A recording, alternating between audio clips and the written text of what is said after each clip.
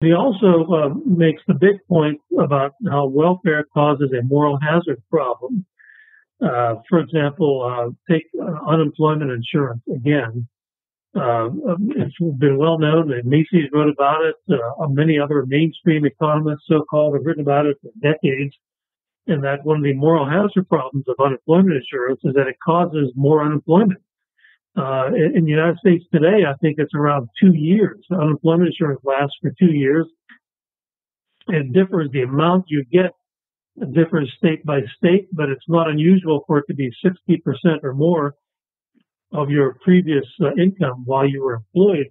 And so you can basically get a check for 60% or so uh, in some states of what you were making, but you don't have to go to work. You don't have to get get dressed. You don't have to spend money on gasoline or lunch or anything like that.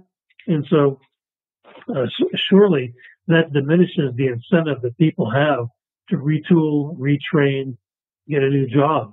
Uh, for example, during the, the housing market crash in the United States, the housing bubble that was created by the Fed uh, sort of induced uh, millions of people to get jobs or careers in mortgage finance, uh, home repair, jobs at Home Depot and places like that, anything and everything related to the building and, and, and maintenance of houses.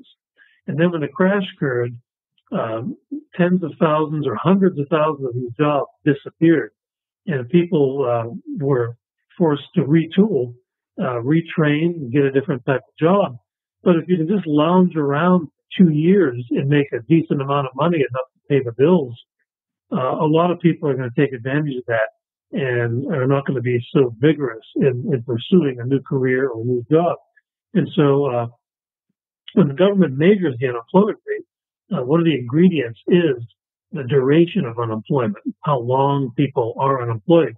And of course, with unemployment insurance being uh, more generous and longer lasting, it increases the duration of unemployment so that the unemployment rate that you read about is higher, whether it's the official government unemployment rate or if you look up shadowstatistics.com and find out what the real unemployment rate is if you use the the formula that the government used 25 or 30 years ago, then uh, it's not the seven and a half percent the government claims now. It's more, more more like 14 or 15 percent. But either way, it's longer because of unemployment insurance, and that's one of the things von Mises is talking about here. And, and uh, the way he put it, I wrote down this quote from his uh, chapter. He said, "Social insurance has thus made the neurosis of the insured, a dangerous public disease. And so he was he was very astutely talking about how uh, behavior is changed in many ways uh, by so-called social insurance or welfare. And it's not just that people stay unemployed longer. Um, if if, uh, if, if welfare is generous enough that uh, people have enough to eat, they have housing subsidies and child care subsidies and, and so forth, then uh, you, you do create the welfare trap. And we'll talk more about this uh, next week. But uh, uh you, you create a trap whereby, for example, if, if someone is uh, in New York City making $40,000 a year in welfare benefits, cash and in-kind benefits, and they get a job, and as a result of getting a, a decent paying job, they lose most of those benefits their their marginal tax rate could be 60, 70, 80 percent if you look at a tax and not in terms of uh, writing a check to the government, but losing uh, benefits that government was giving you. That's a form of a tax. It's taking something away from you that you were, were given.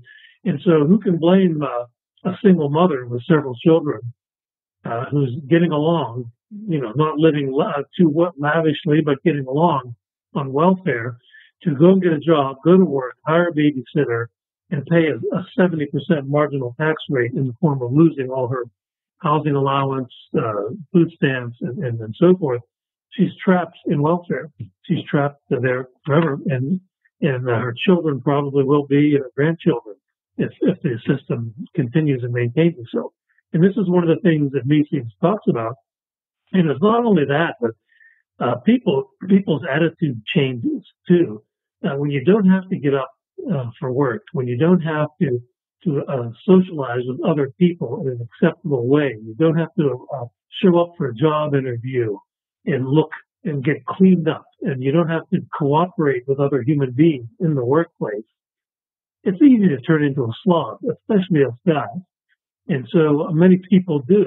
You turn into a slob and, uh, and a lazy slob. Uh, and so I'm not saying everyone does, but uh, I think that's one of the things that when Mises used the word neurosis there, and he was probably alluding to even in his day, you know, many many years ago he wrote this. Uh, the, the welfare state in America was a tiny, tiny uh, smidgen of what it is today.